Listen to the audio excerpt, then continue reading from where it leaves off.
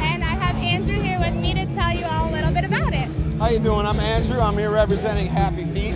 It's a liquid glycerin-based insole. It provides arch and cushion while massaging your feet every step you take.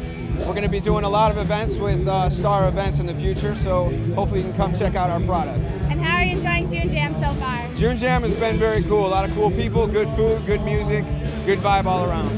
All right, so we hope to see you